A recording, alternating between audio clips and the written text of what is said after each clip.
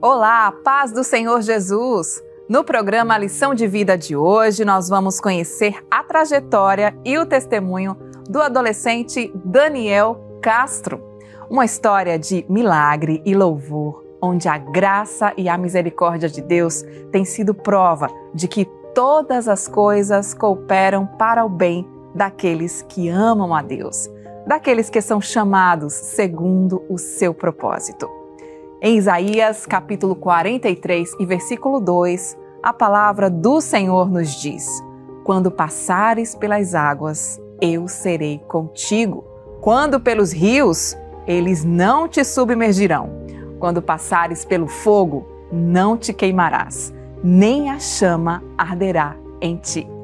Então prepare o seu coração, viu? Porque você vai se inspirar e ser muito abençoado com o testemunho do nosso querido convidado de hoje. O programa Lição de Vida já está no ar.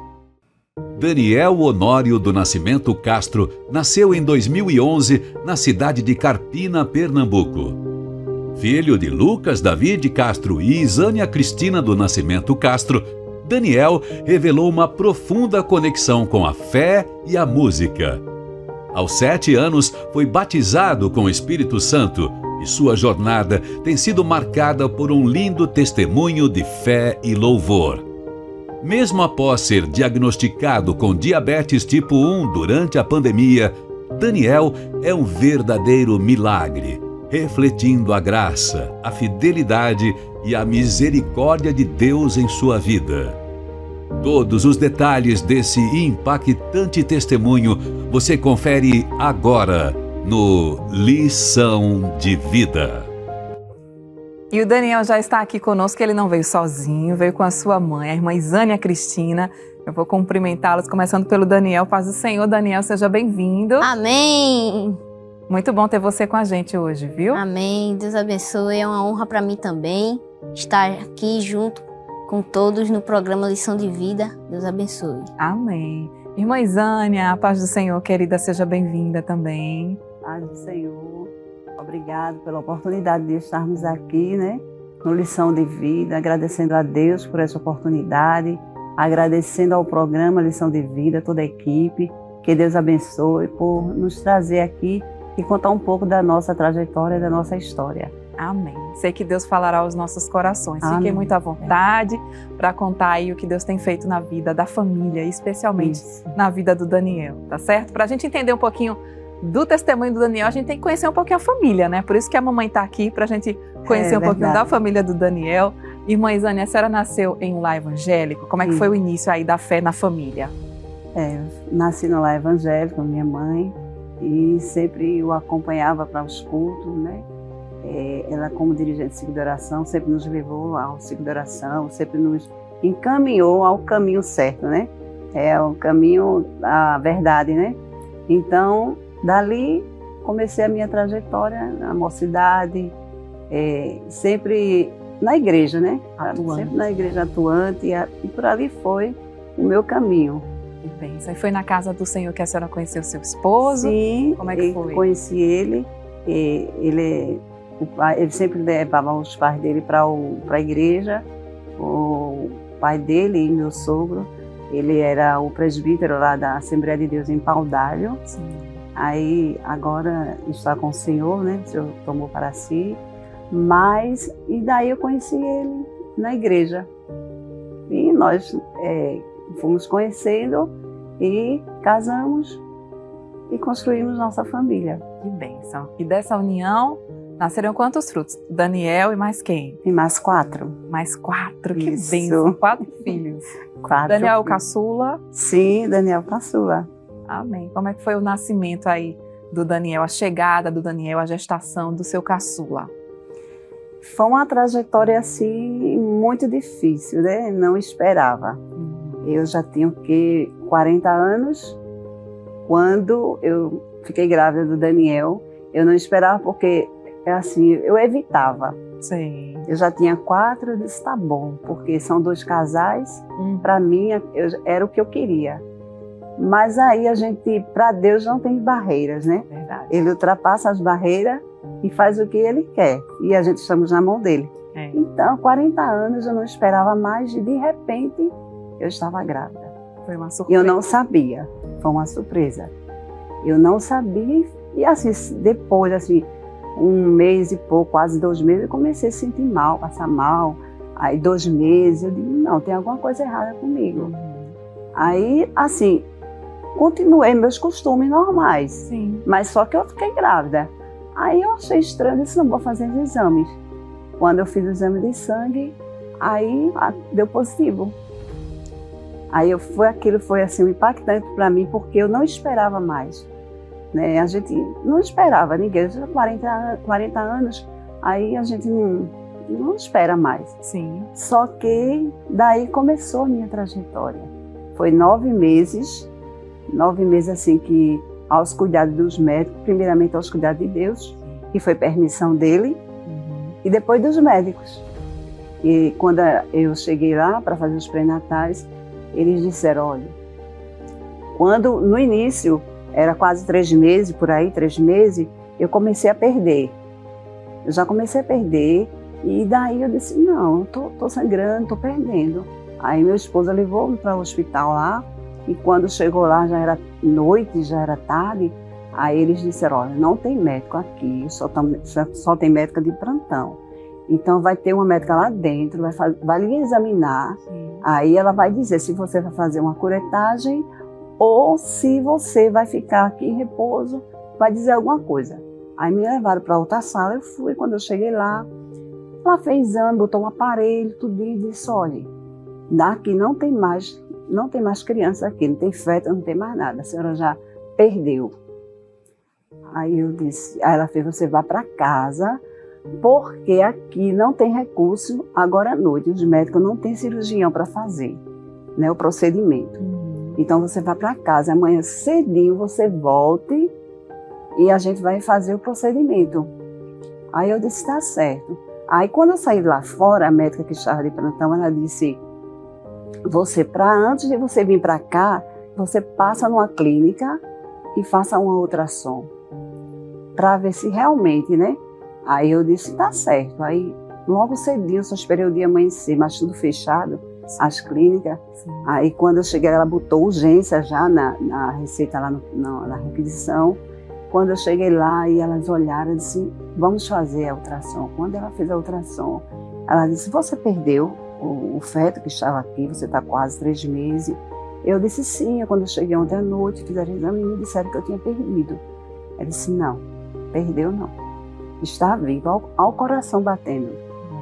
Aí eu escutei, né? Eu disse, uhum. Glória a Deus. Eu disse, meu Deus, ainda bem.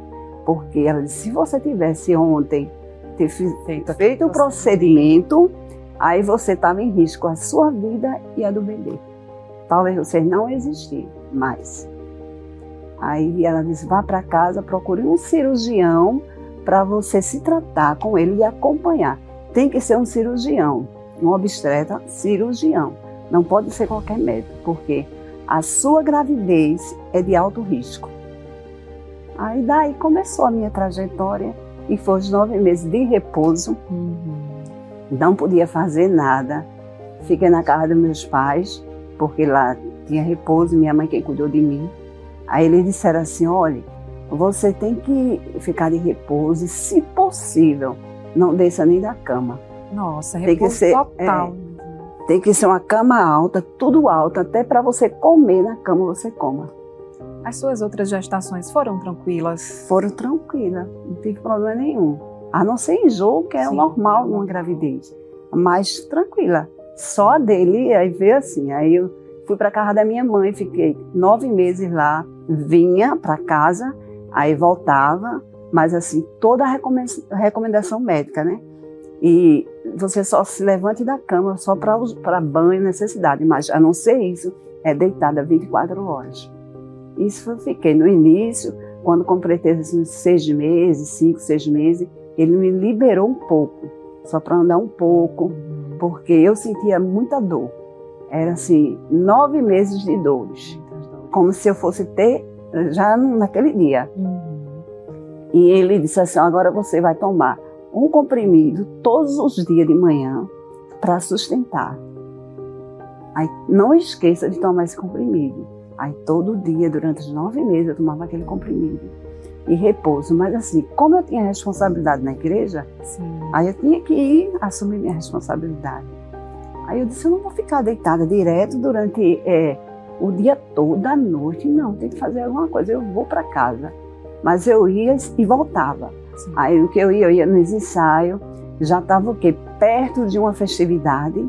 A senhora fazia parte de, de que órgão? De uma comissão. Eu, comissão. eu, eu como regente lá. Sim. Aí colocava os hinos. E sempre lá, gestante, as irmãs com cuidado, tudinho, mas eu estava ali. Aí botava os hinos, estava perto da festa. E quando se aproximou da festa, que foi dia 27 de setembro é, de 2011, aí a minha cirurgia estava marcada. Eu não participei da festa, mas assim, eu deixei tudo pronto. Deixei tudo pronto. Aí eu disse assim, Daniel, ele escutou tanto hino, tantos hinos que eu ensaiava durante a noite em casa, uhum. passava os hinos e ficava escutando. E eu acho que ele escutou tanto que eu, assim, a gente colocava mais os hinos de Elian, Sim. E ele já nasceu, já quando ele escutava, ele gostava.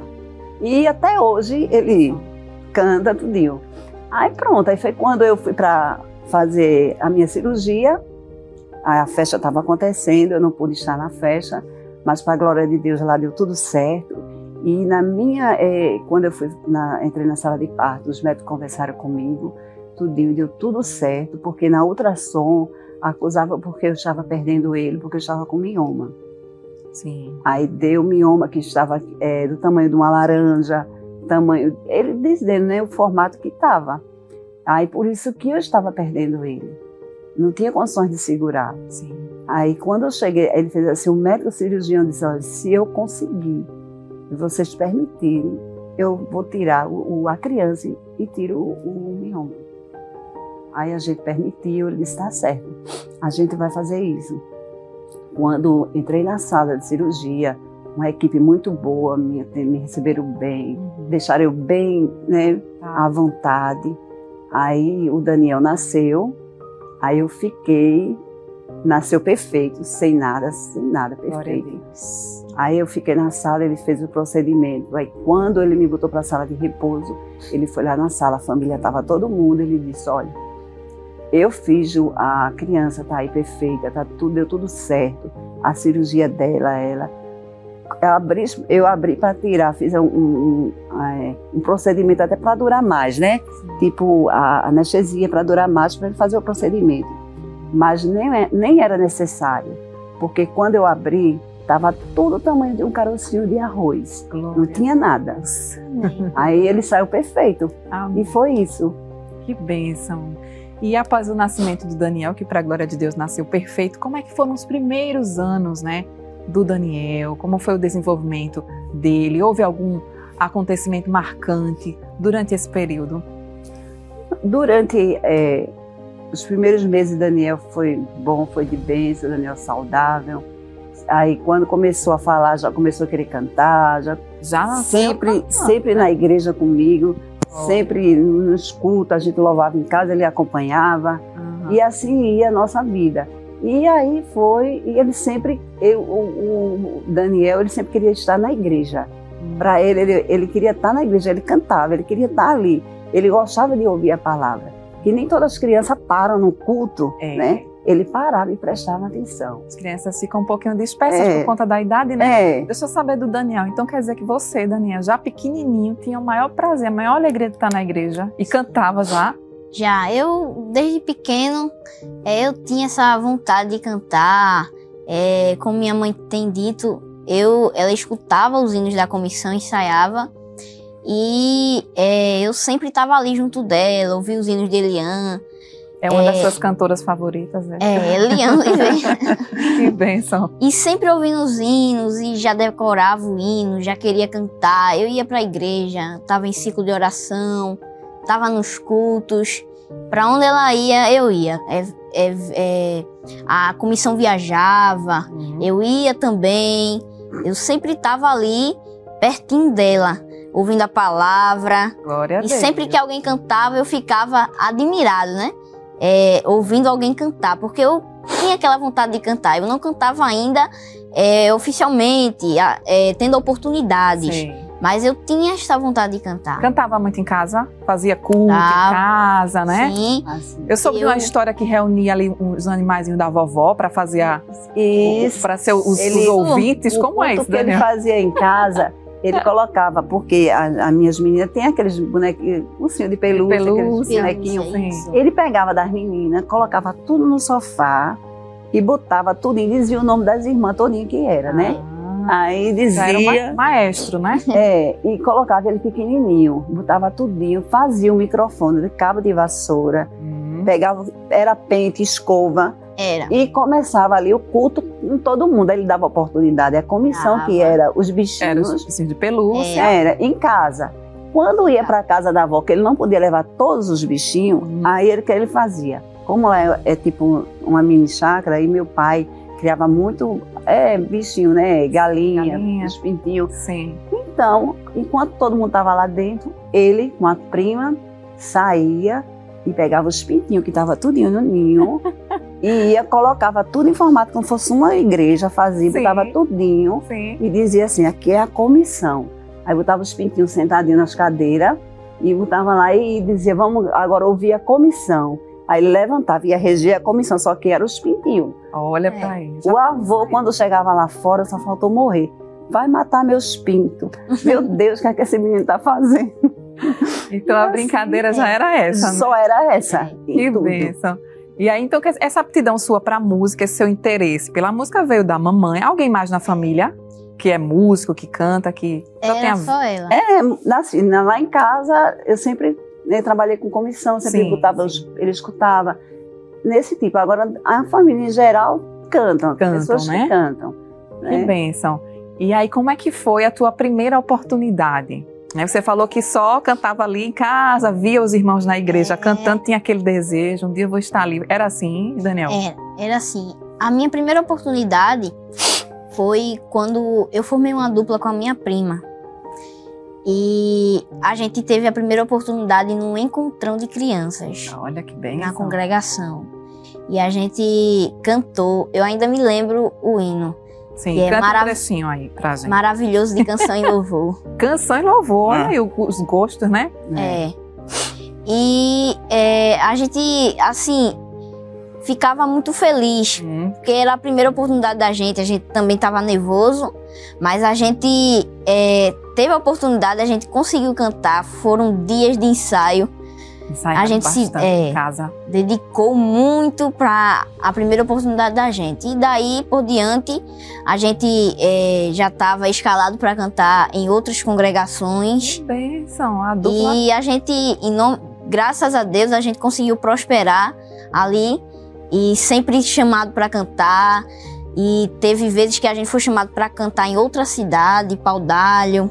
Amém. E é, foi uma benção, eu me alegro muito quando é, me recordo, me lembro da primeira vez que eu recebi a oportunidade para cantar. Glória a Deus. Cante um trechinho que eu pedi, né? Pode cantar? Só um trechinho desse hino, do seu primeiro hino que você cantou na igreja. Maravilhoso és, maravilhoso és. És um Deus tremendo, imutável e perfeito, e tens todo o poder. Maravilhoso és, maravilhoso és. Ô, Glória, que coisa linda, né? É. É da boca das crianças que sai o perfeito louvor, né? Você tinha quantos aninhos quando cantou pela primeira vez? Eu tinha seis anos de idade. se Seis engano. anos. Novinho, Ele era né? pequeno, ele sempre Era pequeno. desenrolava, Que pequeno. E aí, depois dessa primeira oportunidade, no Foi. encontrão de crianças, adorando a Deus, você ganhou um outro presente que eu quero que você fale, que foi o batismo, né, né irmã? Sim, o batismo com o Espírito Santo. Foi com aonde- sete. Foi com sete, Hum. no outro ano. Onde eu fui convidado, a dupla, minha prima e eu, fui convidado para a oração para a mocidade, Hum. na congregação Três Marias 1.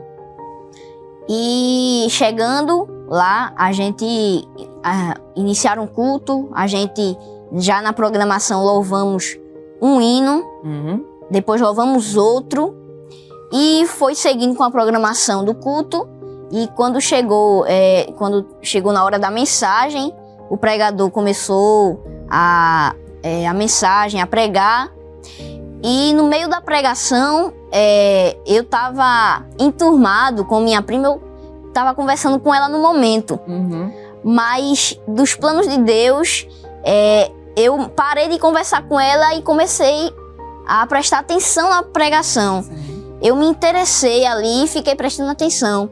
E daqui a pouco eu senti um- é, uma chama dentro de mim, do Oh, meu coração. E eu comecei a chorar, Glória. chorar, chorar, e chorando, chorando, chorando. E Deus me batizou com o Espírito Santo, Amém. né? Coisa e linda, né? no final, é, eu cheguei em casa muito feliz, Ai. dei um abraço na minha mãe, porque isso já era um desejo meu. Uhum. Ele sempre falava, "Ai, mas É. Sempre falava, desde muito antes, eu tinha esse desejo de ser batizado com o Espírito Santo. E Jesus me presenteou. Cheguei em casa, eu dei um abraço na minha mãe, dizendo: Mãinha, meu Deus, eu fui batizado com o Espírito Santo. Porque era o meu desejo todo dia no ciclo de oração, nas sexta-feira. É, eu, na hora do batismo, eu me ajoelhava, eu chorava, chorava, mas não falava. E nesse dia, Jesus me presenteou com ricas bênçãos do céu. Fui glória. batizado com o Espírito Santo. Que presente lindo, irmãs. É. Imagina a senhora quando recebeu a notícia, hein? Quando ele chegou em casa, mãe, eu fui batizado, e aí? Aí eu disse, não acredito, foi verdade, Daniel, foi. Aí eu vi ele tão emocionado ainda, ele ficou emocionado. Ele foi dormir, É. estava emocionado. Tava Ele emocionado. estava como se estava cheio do poder ainda. Glória a Deus. Aí eu disse, que bênção, Daniel, Deus te abençoe. E ele ficou assim, como se tivesse querido falar ainda em mistério. Uhum. Se controle, vai ter muitos dias, muitas vezes, assim, muita oportunidade você vai falar. E ele sempre emocion- emocionado, vermelho. Ele chegou em casa vermelho, que eu, quando ele abriu o portão, eu disse assim, aconteceu alguma coisa? Ficou logo preocupada, vermelho, né? Eu disse, pronto. Mas graças a Deus foi a glória de Deus que é, resplandeceu ali naquele lugar, naquela oração da mocidade. Glória a Deus. Como é bom, como é importante conduzir os filhos no caminho Isso. do Senhor, não é? É verdade. Muitas mães, muitos pais, né? Com aquele sacrifício, mas levam seus filhos para o círculo de oração infantil, para o círculo de oração adulto também, né? Porque não tem com quem deixar, ou Não, carregam vai, não eles. pode deixar em casa. É, estão ali louvando junto e a gente vê os frutos, né? É verdade. É muito importante. É verdade. Glória a E Deus. Daniel, assim, ele vai para os cultos, ele presta muita atenção, desde pequenininho que ele presta atenção no preleitor, presta atenção em quem vai cantar, em quem nos testemunhos.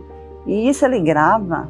Quando chega em casa, eu já sei. Ele vai fazer todo o culto, todo, toda a trajetória do culto, do início, do, do hino que cantou até o final. Oração, oração para o irmão fulano, irmão cicrano. Ele ora. Se você pedir oração, ele não esquece. Então, ele chega em casa, vai fazer todo o culto. Eu disse, Daniel, é hora para dormir, é hora de fazer culto. Não, eu tenho que fazer esse culto hoje.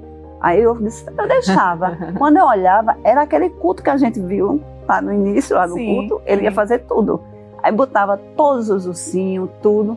E hoje, quando ele faz o culto, ele não deixou, faz o culto dele. É, Né? Todos os dias ele faz o culto, louva, Glória prega. Parece que está falando para uma multidão. Ali ele se alegra, fala em mistério. Amém. Aí ele faz assim, quando ele vai dar oportunidade, é no culto dele, ele faz assim, como assim determina o pastor Simas, Que é o pastor de é o pastor da nossa né? cidade. cidade de você. Aí ele dá a oportunidade, é um- aí diz o pregador tal, o diácono tal, o presbítero tal. E eu fico só prestando atenção, de meu Deus, Daniel copia tudo. Já está treinando, né? Futuro obreiro da a casa do. Senhor. Amém. Glória a Jesus.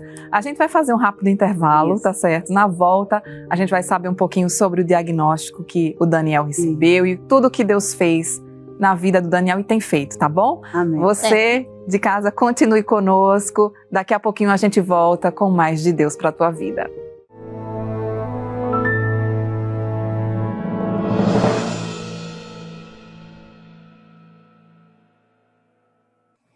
Muito bem, nós já estamos de volta com o programa Lição de Vida e hoje nós estamos tendo a alegria de receber o adolescente Daniel Castro e também a sua mamãe, né, a irmã Isânia Cristina.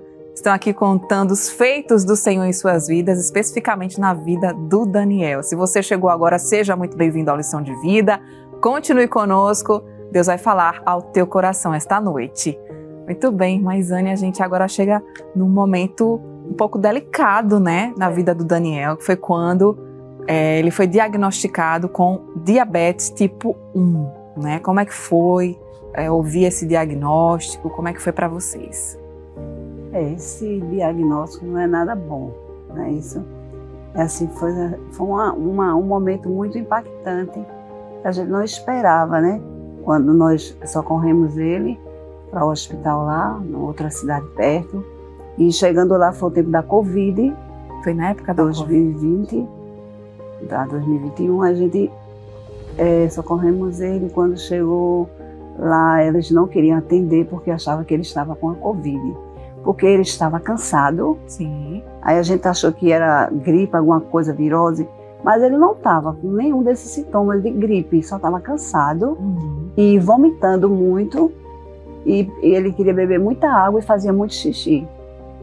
E na, da noite anterior ele fez xixi na cama, vomitou muito, até a madrugada, e eu sem saber o que era. E quando amanheceu o dia, a gente não estava em casa, a gente estava visitando os tios dele. Aí quando eu cheguei, quando o dia clareou, eu disse, não, vamos levar ele.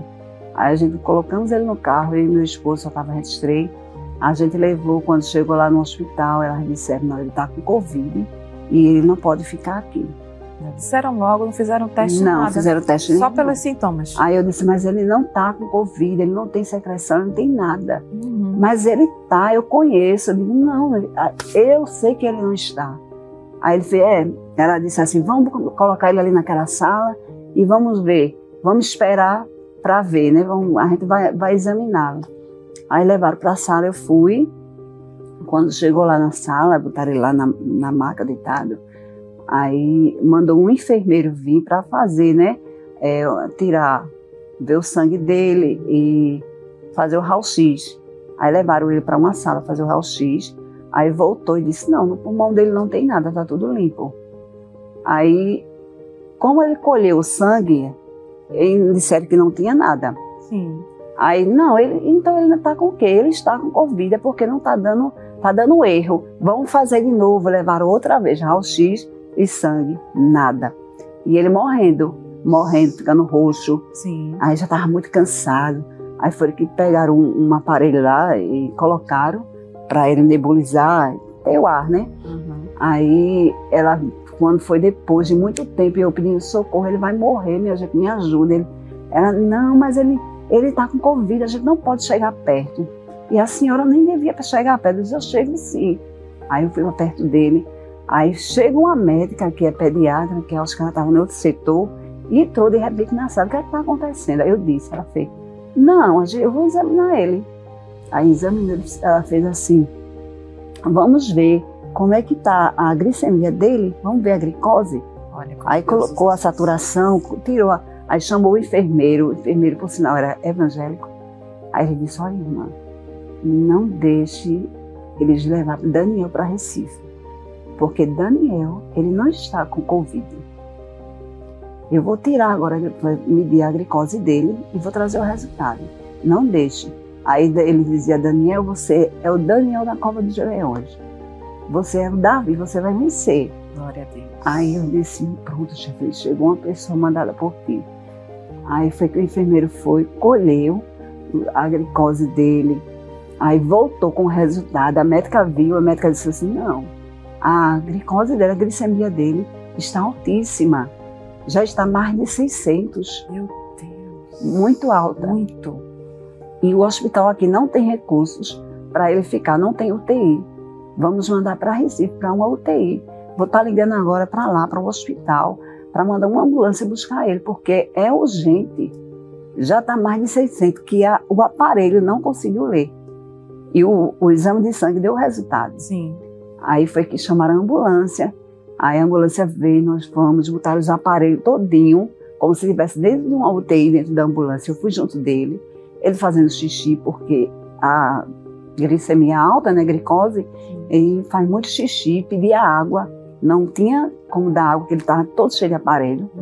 E eu lá com ele, aí a gente chegou no IMIP, foi quando tinha uma equipe médica já esperando a gente. Ele desce, a gente descemos, ele já foi logo para a UTI. De tão grave que estava o caso. Estava muito alta. Aí ficou na UTI. Como eu tenho um problema alérgico, estava toda pipocada, Eles disseram: você não consegue, não é para você entrar aqui. Você não está bem. Eu disse: tô não. Mas eu tenho que entrar com ele. Não, você não consegue. Você fica lá fora e manda o pai vir para cá. Aí meu esposo entrou, foi. Meu esposo também fica muito nervoso, não, não conseguiu ficar. Sim. Eu disse: vou ter que entrar para saber o que é. Porque se é glicose, eu não entendi o que era, é, tipo diabetes, não sabia. Aí eu disse, meu Deus, para mim é uma coisa muito estranha, eu não sei o que é. Aí de repente foi quando eu entrei, aí a equipe médica veio, se você é a mãe dele, eu disse, sou. A gente vai conversar com a senhora ali, eu disse, tá certo. Mas aí eu não estava entendendo, não entendia nada. Sei que ele estava na UTI, cheio de aparelho. Quando eu vi assim de longe, ele falou, a senhora não pode entrar, porque a senhora está com alergia, tinha problema de alergia. Aí ela me levou à parte na sala, uma equipe de médico enorme, tudo em cima de mim, contando as histórias de diabetes. Eu não entendia nada. Para mim, eu assim, trancou tudo para mim. Eu sei. Aí ela dizia assim: olha, se seu filho sair dessa, ele não vai sair bem. Ele pode sair com sequelas.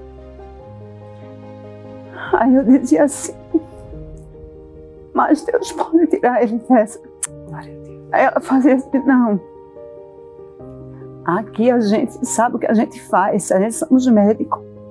Eu disse, mas existe um, Deus que pode. Aí ela dizia, não pode. Somos médicos. A gente estudou para isso. E a gente sabe possivelmente o que pode acontecer com ele se ele sair da UTI. Elas foram bem claras comigo. Aí eu disse, meu Deus, vem cá. Aí ela disse assim, olha, se ele sair, ele pode sair cego, com problemas renais, até não pode nem andar. Aí eu disse, mas meu Deus pode fazer isso.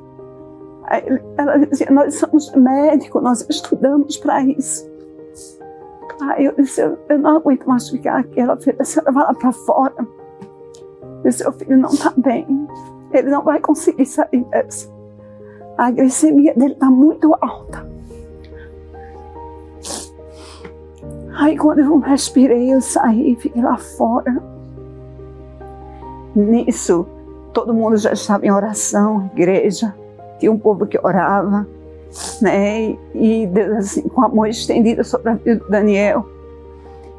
E eu estava ali fora orando, orando, e, e aquele movimento de Jesus vinha cá. E clamava ali por Deus naquele momento. Eu não conseguia ficar ali naquela noite. Ele disse, a senhora, a senhora não pode passar a noite aqui com ele. Eu disse, eu não vou ficar, não consigo. Aí quem vai ficar, o pai dele, ele também não consegue. Ele, tá, ele quem vai dirigindo, ele não consegue. Aí eu disse, ela disse, agora? Nisso, a minha sobrinha, ela ligou para saber como estava ele. Eu disse, não está bem, não. Ela fez, tia, eu estou fechando o consultório estou chegando aí. Eu vou passar a noite com o Daniel. Aí ela veio, ficou com o Daniel, fui para casa e sempre a gente ligava e ele lá, nos aparelhos. Ela disse que teve uma, na madrugada ele começou a se mexer, começou. Os médicos foram, sempre estavam indo lá, a equipe. Não saía porque na UTI fica aquela equipe médica. Sim. E eu cheguei naquele momento, eu disse, no outro dia eu tinha que ir, mas eu não conseguia. Eu estava doente. Muito difícil. Né? Aí foi, sempre uma pessoa para me revezar, foi minha irmã, a minha outra irmã. E nós ficamos ali. Na, no outro dia, ele conseguiu sair da UTI. Glória a Deus. Deixa eu saber do Daniel. O que é que ele lembra desse uhum. momento, antes da senhora completar? Queria saber do Daniel, o que é que ele lembra, né, desse momento tão difícil que você viveu, Daniel, que você pode contar pra gente? É um momento muito difícil para mim. Tanto para mim quanto para minha mãe, pro meu pai. E até hoje eu me lembro de cenas que eu não vou me esquecer. Uhum. E foram cenas que até hoje me impactam porque na UTI eu via os médicos me operando, eu via o tamanho da agulha entrando na minha veia. Eu via. E o, tudo que eles, todos os movimentos que eles faziam ali, eu via. Eu estava coberto em uma toalha. Uhum. E minha prima estava do meu lado, porque minha mãe, como tem dito, não pôde ficar. Ela tem problema de alergia. Ela foi para casa com meu pai, mas minha prima estava comigo. E ali, depois que eu consegui sair da UTI, graças a Deus, no outro dia eu me alimentei bem e transferido para uma enfermaria. Uhum. E chegando lá, é, eu me deitei na maca e daí teve momentos que, como minha mãe não pôde ficar comigo, minhas tias, minhas primas, todo mundo que veio para ficar comigo, aquilo para eles, para elas, era uma novidade. Ela não sabia o que era diabetes, não sabia o Ninguém que era. sabia. Essa ninguém sabia, né? Ninguém lidava com isso antes. E a, a médica que ficava me monitorando, ela explicou o que era diabetes, né? E eu, quando ouvi falar da diabetes, eu disse, eu me lembro dessa, dessa palavra, eu me lembrei. Uhum. Eu tinha escutado essa palavra, mas há muito tempo. E quando a médica falou, eu disse, meu Deus do céu, na minha mente. Meu Senhor, por que Jesus? Diabetes, eu já ouvi isso. E eu muito preocupado, Uhum. eu não sabia onde eu tava, eu, eu tava, pra mim, foi muito chocante. Eu acredito. Eu não reconheci o local que eu tava, porque eu saí da casa do meu tio, desmaiado, e acordei. No hospital, uma cheio de aparelhos, né? Com os Cheio médicos furando, como ele disse, né? Verdade. E aí, como foi o dia seguinte? Eles que se alimentou, mas aí foi uma novidade para a família toda. Todo mundo ficou um impacto muito grande para toda a família, né? Uhum. E saber que ia ter que conviver, ia se adaptar àquilo ali, porque a gente não se acostum- acostumou com isso. Né? A gente aos poucos ainda está se adaptando, faz quatro anos. É, quando ele saiu, que foi para a enfermaria, eu ainda, depois de três dias, foi que eu consegui é, ficar com ele. Uhum. Aí era eu e minha filha que revezava e passamos quase 15 dias ali naquele hospital. A gente tem imagens é, dele no hospital. A senhora Isso. pode ir comentando em cima, Certo. tá certo? Mas para a gente acompanhar, quem está em casa também vê com a É. Aqui na tela, vamos juntos acompanhar? Vamos lá. Pronto. Vamos ver aqui as imagens. Isso aí. Pode falar, irmã. Aí, nesse, quando ele estava aí, na, na- foi quando ele chegou no hospital em Nazaré da Mata, que a médica não queria chegar perto, dizendo que ele estava com Com Covid. Foi naquele primeiro hospital, né? Estava no hospital, no primeiro hospital. Ah. Ele ainda ia ser transferido aqui para Recife. Foi um momento. Muito difícil, muito difícil o momento que a gente passamos.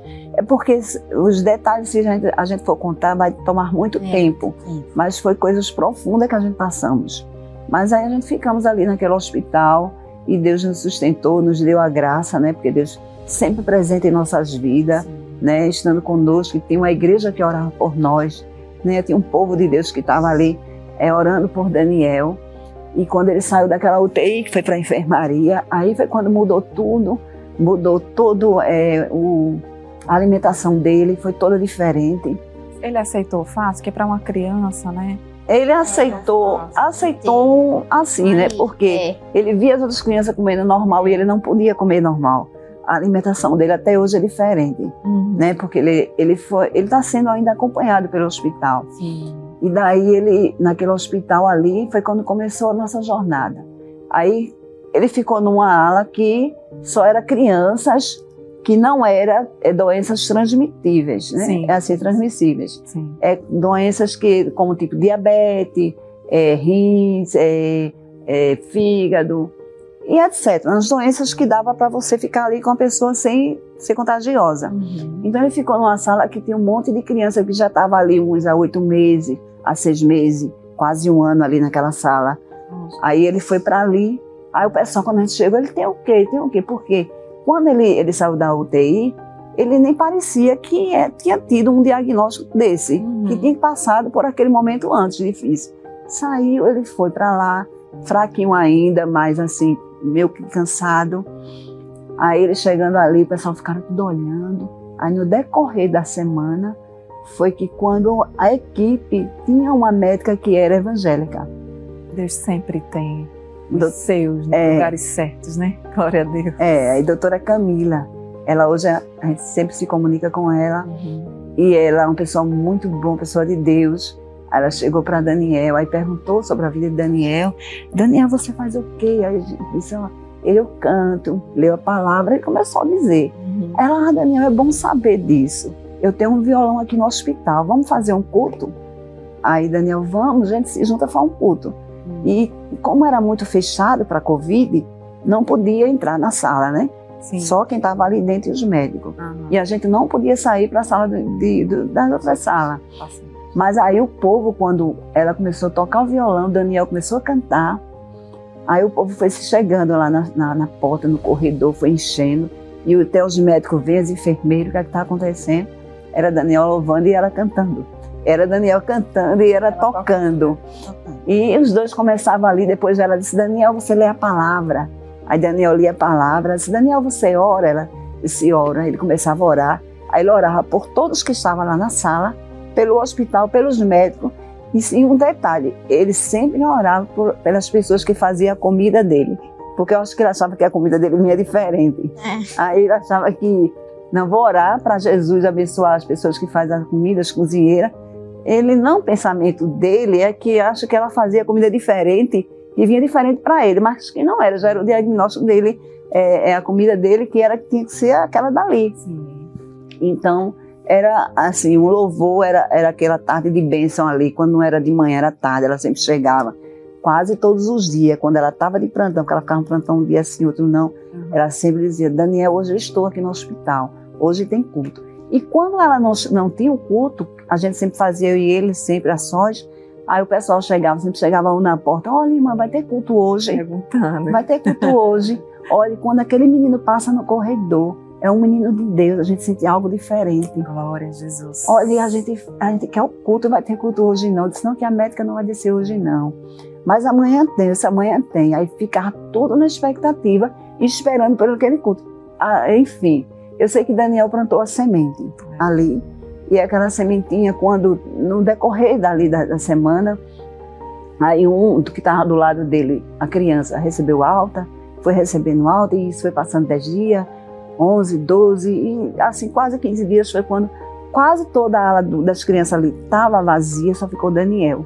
Uhum. Aí eu disse, Daniel, mistério de Deus, porque tu chegasse aqui, todos estavam aqui, e hoje tu sair ficasse sozinha, doutora. Um detalhe importante, Mesânia, é que os médicos disseram que se ele saísse daquele quadro que ele entrou na UTI, ele ia sair com sequelas. Sequelas. Poderia ficar cego, poderia ter problemas em outros órgãos, Nice, mas é. Deus operou um grande Mostrou o poder dele ali, é, fez aquele grande milagre, mostrou que ele é Deus, quando os médicos diziam assim, mas eu estudei, eu sei que ele não vai ficar, ele vai sair com sequela. Eu disse, mas Deus não vai deixar.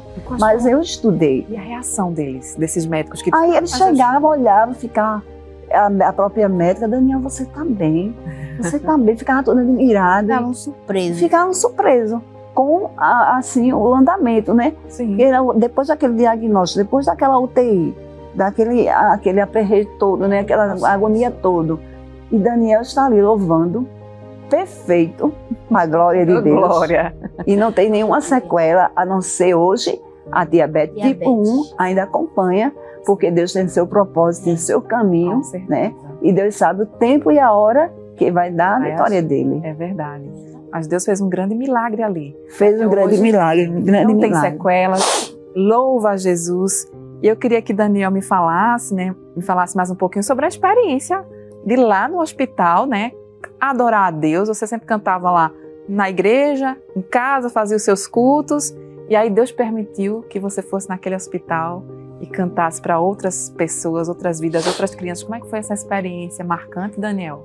É, para mim, é, foi algo que marcou minha vida, né? Porque desde que eu nasci, né, a minha experiência é, foi a minha primeira experiência foi é, é, chegar ao hospital, isso tudinho. Eu nunca tinha vivenciado é, um processo. Uhum. E ali no hospital, é, na enfermaria, quando eu fui transferida da UTI para a enfermaria, é como minha mãe disse, o pessoal ficava é, esperando começar o culto. Tem dia, tem culto hoje, não tem amanhã.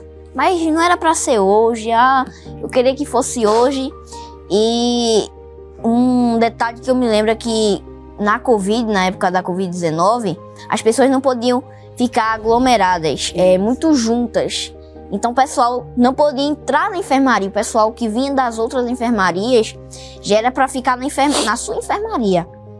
E quando começava o culto, daqui a pouco, é, é, daqui a cinco minutos, já tava uma aglomeração ali na frente da enfermaria. Porque não podia entrar, só podia entrar quem era daquela enfermaria. E todos ficavam ali ouvindo a palavra, é, eu cantando, eu pregava, eu orava. Benção. E tinha gente que chorava. E Deus impactou muitos corações ali, eu creio, porque eu vi o agir de Deus. Glória. Porque tem gente, tinha gente que estava ali que fazia mais de meses que não recebia alta. Sim, como a irmã falou, tem gente que estava até É. mais de um ano, não é isso? E quando eu cheguei, é, é, Jesus Oh, fez um milagre. Que coisa E linda. assim, é, na enfermaria, é, tinha muitas. Tinha, se eu não me engano, até hoje eu me lembro, tinha oito pessoas na enfermaria. E não só foram elas que foram que receberam alta, foi todo o corredor ali. E Deus tem o seu plano, É seu propósito, né? Deus nos leva para lugares, né, que a gente não conhece. Deus nos leva para lugares hostis. Deus nos leva para desertos. É, e uma palavra que me impactou durante esses dias foi que desertos, e, deserto, ele nos machuca, nos fere, mas ao mesmo tempo no deserto Jesus nos molda, nos capacita, não é isso? É, E foi a- o meu processo ali. Deus me levou pro hospital, fui pra UTI, sofri, doeu, me machucou. Mas tudo tinha um propósito. Amém. Glória a Jesus. Tudo tinha, tudo tava ali no plano de Deus. Deus me levou pra ali, não foi pra eu morrer. Foi porque Jesus, ele tinha um propósito. Imagina pessoas que estavam ali com ansiedade, depressão. E Jesus, eu agradeço a ele porque através de mim, ele me usou para outras pessoas. Ele curou, ele sarou feridas, curou traumas, curou almas que estavam ali. E isso para mim eu me alegro muito. Aleluia. E eu quero dizer para você que está nos ass- nos assistindo que não se preocupe com é, o processo, não se preocupe com a sua realidade. Deus tem o seu modo de agir. Deus ele vai fazer a coisa certa. Deus ele não muda, mas faz mudança. Oh, glória. É, Deus tem um plano, Deus tem um projeto. E tudo que você está passando hoje não é para a tua vergonha, não é para a sua derrota, é para o teu bem, é para a honra e glória do nome de Jesus. Eu quero te dizer, o deserto pode machucar, pode ferir, mas saiba de uma coisa, que acima de tudo que você passa, Deus está no controle, Deus está moldando, Deus está lapidando. E é para honra e glória do nome de Glória Jesus. Aleluia. Glória a Deus. Amém. Daniel, cheio do Espírito Santo de Deus, né? Que bênção. E aí todos daquela, daquela ala, daquele setor foram embora, Daniel ficou. E quando foi a alta dele? Ai, foi muito bom. Foi a- muita alegria, Foi, é. todo mundo esperando. E aquela foi um dia maravilhoso, um dia que a gente assim esperava, mas ah, quanto mais a gente esperava, demorava. Porque a gente só- só queria sair dali, É, né? Chegar em casa, ter a, a casa dele, o lugar dele. E quando a gente chegamos ali, fomos para a casa da minha mãe, todo mundo já estava esperando, a família toda, a tia, tios, primo, prima, tudo esperando ele. Aí fizeram uma, uma, uma homenagem a ele quando chegou, foi uma alegria muito grande. E ali ele ficamos o dia ali, passamos mais uns dias ali, que a minha mãe sempre preocupada, não, tem que ficar aqui pra gente. Mas aí, coisa de vó, né? Sim, sempre preocupada. De vó, né? É benção. E a gente ficou ali, mas para a glória de Deus, até hoje, Deus tem estendido É. as mãos. Amém. Deus tem cuidado de Daniel, né? Deus tem dado força, Deus tem dado graça. É, ele sempre está indo para os médicos. Os médicos sempre, quando a gente chega lá, que o médico sempre, quando a gente vai, tem- é cada vez que a gente vai, tem que fazer novos exames. Aí quando a gente chega lá, que ele olha e diz, "Esse- ele não voltou para a UTI ainda? Aí eu disse, está repreendido. Não, É, tá. e era para voltar. Não, pelo que eu vejo aqui, está muito alta a glicemia. Aí eu disse assim, não, mas Deus está cuidando de tudo. Glória E Deus tem cuidado dele. Coisa linda. né? Muitas vezes a gente eh, se assusta quando ele vai aferir a glicose, a glicemia está 500, 600. E ele sem nenhum sintoma. Nenhum não sente, Fisicamente é bem. Silenciosa. silenciosa. E os médicos recomendam, a escola manda laudo para a escola. Sim. Não, se se sair de junto da família, tem que ser uma pessoa que já acompanha o caso dele. Uhum. Porque tanto faz estar alta no pico, como ele, ele já chegou a 33 a 25 a glicemia. Baixo. Muito baixa, ele passa mal. Aí isso, ela tá pedindo açúcar, a gente dá açúcar. Teve um dia que eu viajei com ele, ele estava junto comigo na água. E quando de repente, mãe, eu tô passando mal, ele apagou dentro da água, se eu não tivesse junto. Aí eu peguei ele, pedi socorro. Aí foi quando eu lembrei, é, a glicemia tá baixa. Não tinha nem como aferir, porque ele ficou todo emolecido, eu digo, meu Deus. Aí eu corri, pedi açúcar, aí coloquei açúcar puro na garganta dele. Foi que eu depois dei água a ele, foi tornando, tornando, estava muito baixo, ele já está indo embora. Aí a médica sempre, a equipe avisa, olha, fique de olho à noite. E até hoje a gente fica sempre vigiando ele. Porque à noite é que tanto faz dar o pico alto, como tá dormindo, ele no outro dia não acordar. Porque ela baixa de repente. E assim vai a vida de Daniel. A gente com ele, a família toda. E Deus com a mão estendida Deus- sobre ele, É, Deus Né? acima de dando tem graça, cuidado, dando tem dado livramento. é. Oh, glória. Amém. Daniel é um instrumento nas mãos de Deus. Amém. Amém. Amém. Você está sentindo a presença do Senhor Jesus? Nós estamos sentindo aqui. Daniel é um milagre nas Glória mãos de Deus. Deus. E o Deus que opera milagres pode operar o milagre que você precisa. A gente vai para um momento muito emocionante aqui do nosso programa, viu? Que é o momento das homenagens, onde os nossos convidados, no caso o Daniel, recebe aí o carinho de pessoas especiais. Vamos conferir juntos? Eu quero saudar a todos com a santa paz do Senhor, principalmente os irmãos que, que estão assistindo à Rede Brasil. Queridos, falar desta, deste pré-adolescente é falar de uma joia preciosa, de uma pedra muito cara para o Senhor Jesus, ou para nós, né? Daniel é uma criança que nasceu já com o dom de pregar, de cantar. E eu me sinto muito feliz por ele ser esta criança pré-adolescente que está conduzindo outros adolescentes para a casa do Senhor. Ele louva, ele prega. Desde a idade de três anos foi quando eu comecei a conhecer Daniel. Ele tinha três anos de idade e já alegrava nossos corações. Muito obrigado. Deus abençoe. Continue assim, Daniel. Você é chamado por Deus. É a joia que Deus precisa, aleluia, para que possa continuar neste mundo de horror, o mundo de trevas, de angústia. Mas você veio como luz para brilhar. Deus abençoe. Falar Daniel é fácil. Daniel, quando eu fui dirigir ali em Três Maria 1 e conheci Daniel, ele com sete anos. Daniel, aquela criança envolvida que ama louvar ao Senhor. Daniel pedia para ter oportunidade para cantar. A mãe dele, Isânia, na época era maestra da nossa comissão ali. E Isânia dizia para mim que ele brinca de culto, prega, canta. Daniel é um menino diferenciado. Daniel é uma criança especial. Eu digo sempre que Daniel ele tem uma marca diferenciada.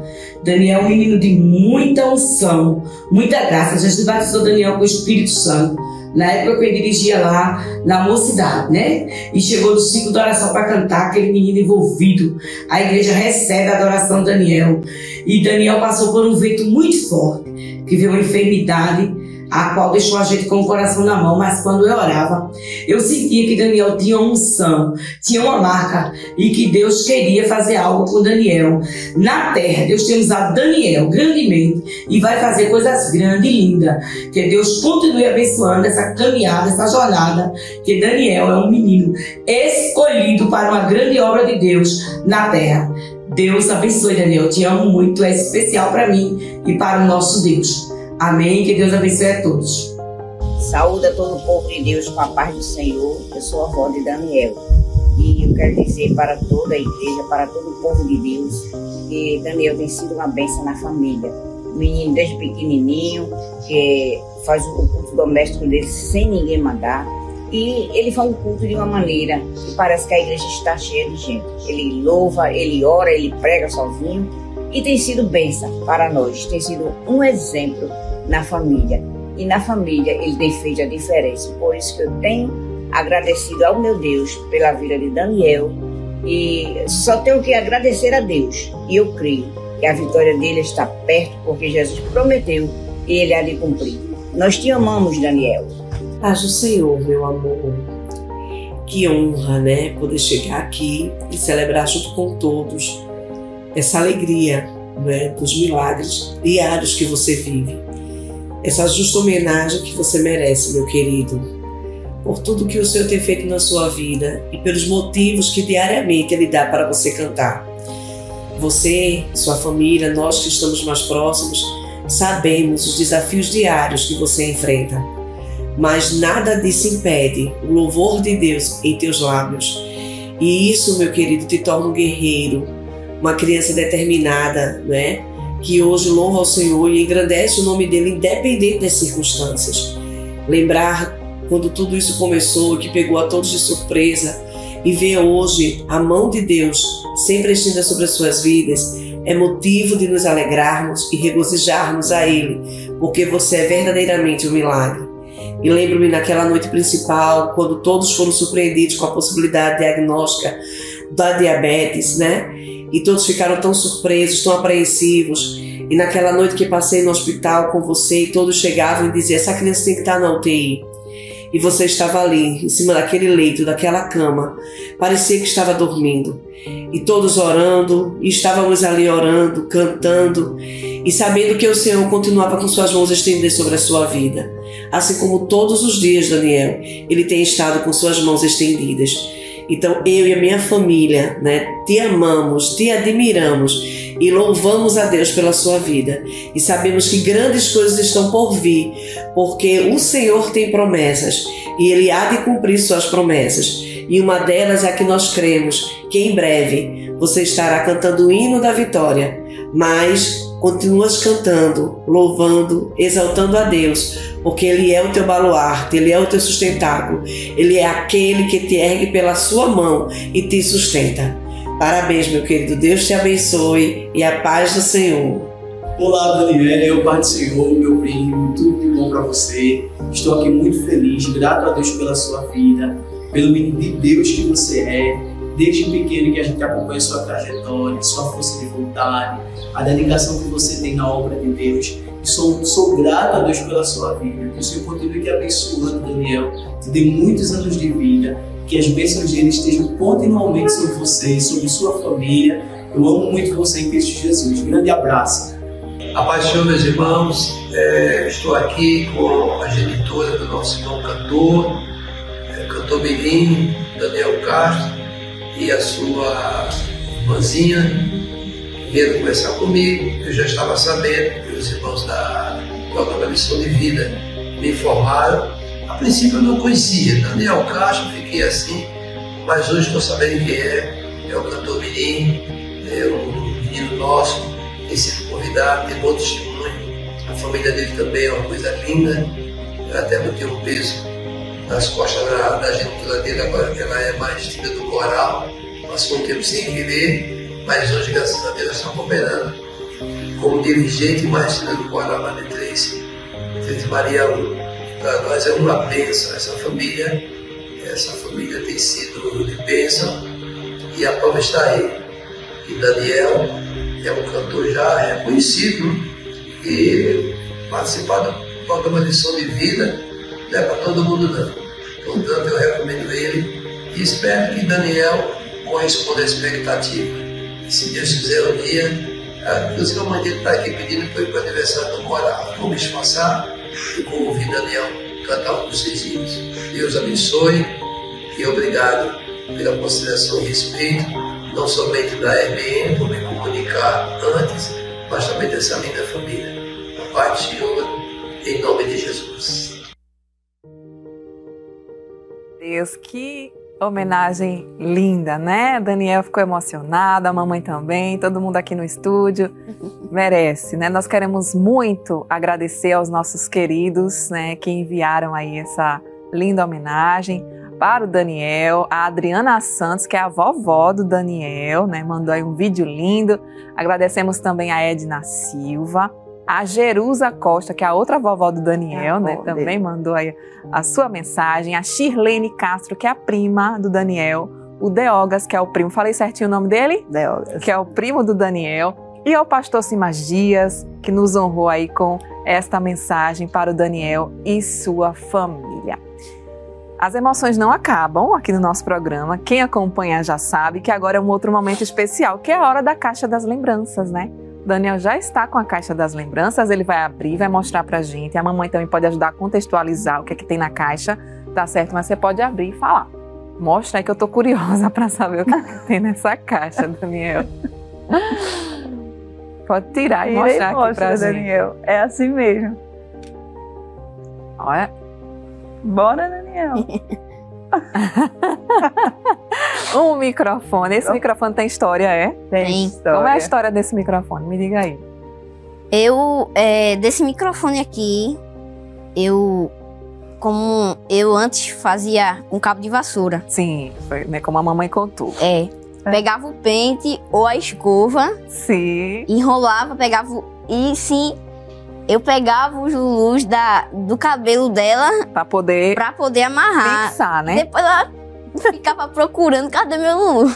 Então o cabo da vassoura era o pedestal, Era o o pente e a pedestal. escova, o É. microfone. É. Mas aí chegou numa fase melhor. É, melhor. Aí substituí esse daqui Uma pelo. nova fase. É, uma nova fase, pelo, pela escova, pelo pente. Né? Foi Aí melhor. Ficou melhor, o né? globo, isso aqui eu fiz num. Uma, uma- eu não sei qual é o nome, só sei que é de bicicleta. Ah, Depois eu do encaixei dom. É, E- fazia É o tudo. punho, né? Que chama, É né? um pu- isso, é um punho, punho. melhor dizendo. E enrolei a fita aqui e fiz o microfone. Foi ele que fez. Foi Ele, você. bola- ele bolava Fez. tudo pra cantar, ele fazia tudo pra cantar. Aí tinha dias que eu me, me fi- ficava satisfeito desse e fazia outro. Aí é, eu fazia outro mais trabalhoso, que era o que era o de papelão. Eu pegava o papelão e ia modelando, usava papel, cola, Olha. tesoura. Criativo. E eu sempre sou apaixonado por essa coisa de microfone, é, esses, essas, é, como posso dizer, Equipamentos eletrônicos, Equipamentos né? De som, eletrônicos que envolve aí som. o, a sou música. apaixonado Que bom. e sempre fiz. Muito bem. Microfone. Gostei aí do seu, do seu microfone aí. É, para poder louvar a Deus em casa e ter a plateia dos ursinhos, né? É, e da cachorrinha dele, Doris. É. ele- ela, quando ele começa o culto, ela já tá lá. Eita, Doris é aquela que nunca falta, né? Nunca Nunca falta. Ô, Glória. Amém. Tem mais alguma coisa na caixa? Tem Mostra aí pra gente. Quem Carro. tem esse carro? Um carro. O carro que esse carro que eu recebi aqui é do meu tio Carlinhos Hum, e marcou a minha história porque foi um, um carro que eu gostei e ainda gosto. Aham.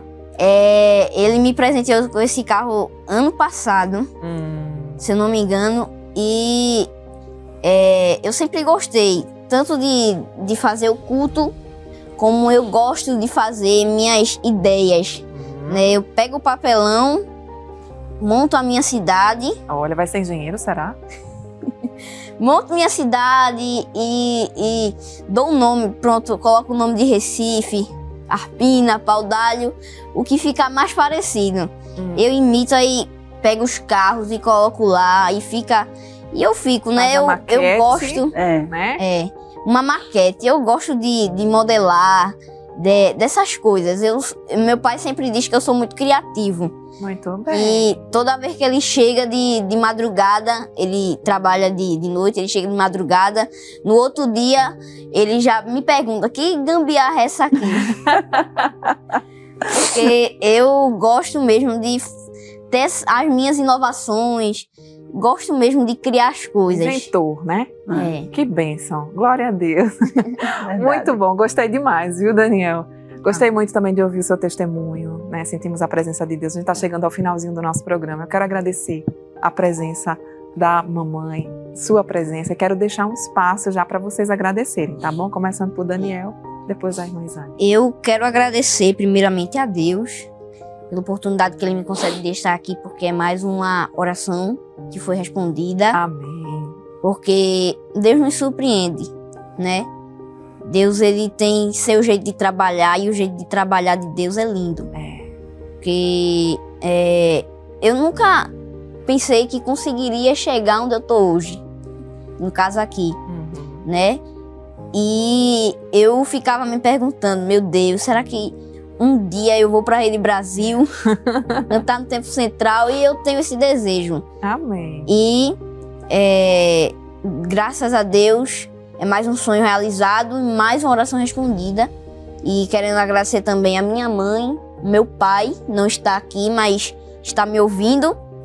E também agradecendo a toda a minha família, querendo agradecer também é, aos meus tios, tias, primos, primas, minhas primas, Thalita e Thaís, que não, não falta na minha, Minha vida. xará e a São- xará da minha irmã. é, Thalita e Thaís. são, são muito importantes para mim, né? E, e a outra também, Tamires. Querendo também agradecer é, ao meu presbítero, presbítero Edinaldo Bezerra, é, a sua esposa, tia Zenaide, também ao meu pastor, pastor Simas Dias dos Santos, e a irmã Rosete Santos, a, a minha vovó Rosete Santos, que posso dizer assim, e também quero agradecer a todos que estão me ouvindo pela oportunidade de estar me ouvindo aqui nesta noite. Eu quero agradecer a você, telespectador. Deus abençoe a sua vida, né, e que você possa tomar este testemunho para você, né, como uma experiência que você possa é, tomar posse desta desta palavra, desta conversa que a gente dialogou aqui, né, nesses, nessas uma hora de programa. Que Deus abençoe a sua vida. Amém. E sou muito grato a Deus por, pela vida de cada um de vocês que estão me ouvindo. Amém. Amém. Glória a Deus, irmã Isânia.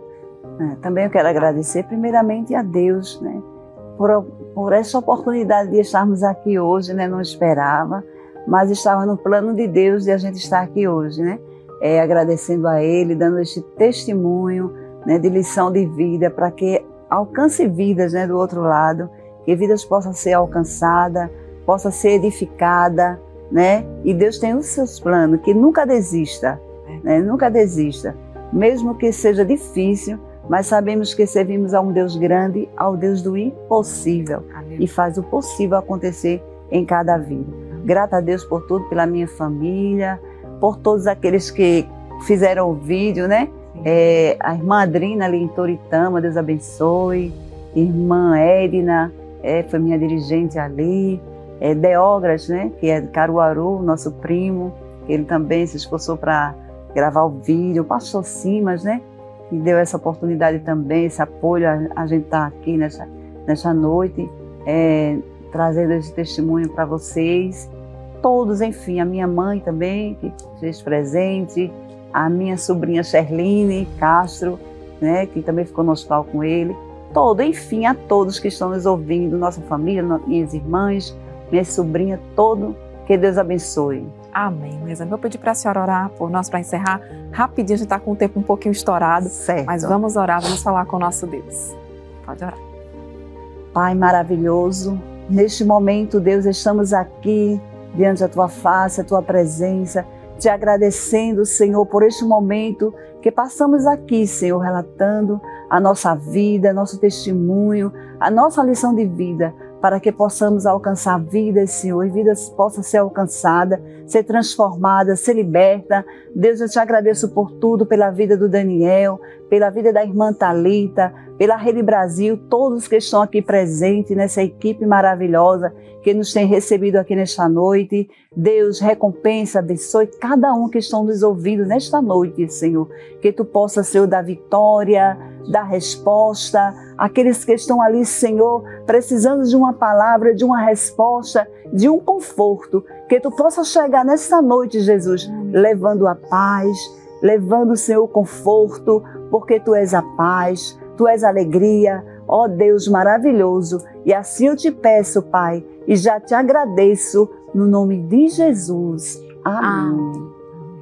Muito obrigada, foi um prazer recebê-los. Que Deus Nós que abençoe agradecemos. grandemente.